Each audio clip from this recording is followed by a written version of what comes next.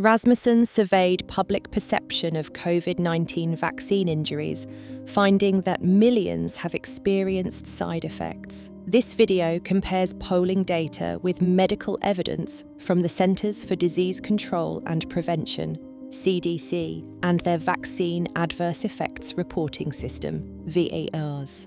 Dr. Makary reports hundreds of thousands of VAERS vaccine injury reports in a broadcast dated September 2nd, 2025. Vaccine injury and, God forbid, vaccine deaths have been a very, very small minority of the tens, hundreds of millions of people who've taken this vaccine. Hundreds of thousands of Americans describe vaccine injury.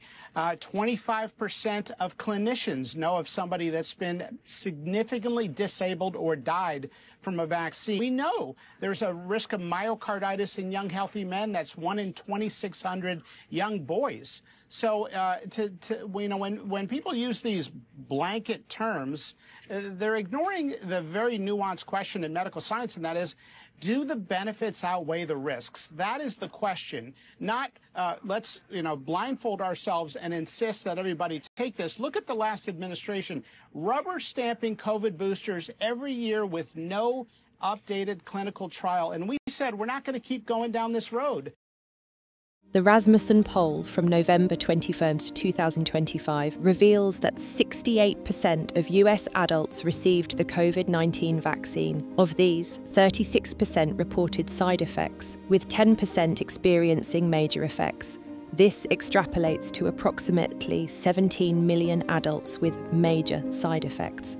The survey reports self reported major side effects without medical verification. The survey measures public perceptions rather than confirmed diagnoses. CDC data shows 70 to 90% of mRNA vaccine recipients report mild, short term side effects, this contrasts with Rasmussen's 36% reporting any side effects, highlighting much higher reported side effects from the public than by the CDC.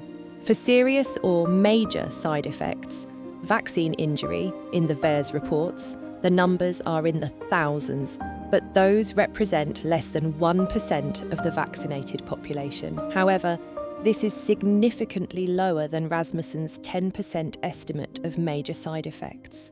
The survey suggests 17 million major side effects, while VAERS reports thousands. This highlights a significant gap in estimates, raising questions about data interpretation from both sources. Understanding data issues is crucial. Surveys may over-report by including unrelated health problems, while VAERS might underreport serious effects. Why is that? A British medical journal investigation reveals that 1.7 million reports overwhelmed CDC and FDA investigators. The Freedom of Information Act FOIA and a congressional committee found that VAERS vaccine injury and death reports were not properly investigated, leading to inaccurate numbers. Key takeaways include that the Rasmussen survey reflects public perception, not medical diagnoses. The lack of public trust is evident in even lower booster uptake in 2025. VAERS's lower reporting of serious side effects may not be reliable for the CDC to claim lower vaccine injury